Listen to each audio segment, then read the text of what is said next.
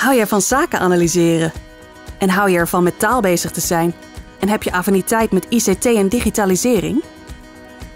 Wil je bijdragen aan juridische oplossingen in een grootstedelijke context? Dan is de opleiding HBO Rechten misschien iets voor jou.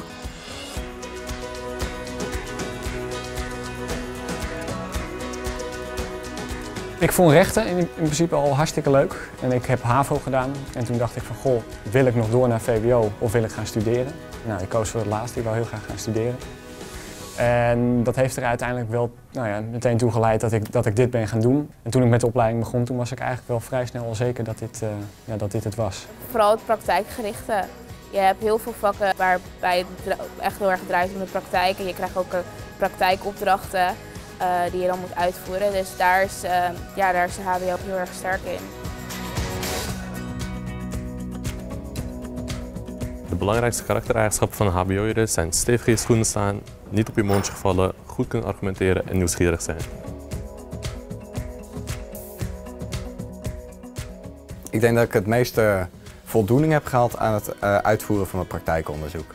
Het, uh, ik vond het vooral leuk om de schakeling van theorie naar praktijk te kunnen maken en een organisatie echt verder te kunnen helpen met een bepaald vraagstuk. Nou, de vakken die ik in ieder geval wel leuk vond waren, waren geschiedenis, aardrijkskunde, maatschappijleer. En zeker uh, geschiedenis en maatschappijleer, ja, dat, dat zie je hier wel in terug. Maatschappijleer kun je eigenlijk zeggen dat dat nou ja, de, de, de basis vormt voor het staatsrecht. Nou, met staatsrecht begin je ook in het eerste jaar, dus dat is op zich wel een hele mooie instap. Uh, en geschiedenis, ja, dat is eigenlijk toch ook wel weer iets wat als een rode draad door, door nou de opleiding heen loopt. Dat je vaak altijd toch nog wel een beetje een wetskennis moet hebben, maar ook wel een beetje van ja, waarop is die wet gebaseerd? De relatie tussen studenten en docenten is erg positief. Je bent hier niet echt een nummertje en je kan best wel een, ja, een goede band vormen met de docent. De docenten zijn ook heel erg open. Je kan altijd binnenstappen voor advies, hulp of vragen die je hebt. Ja, het is heel divers.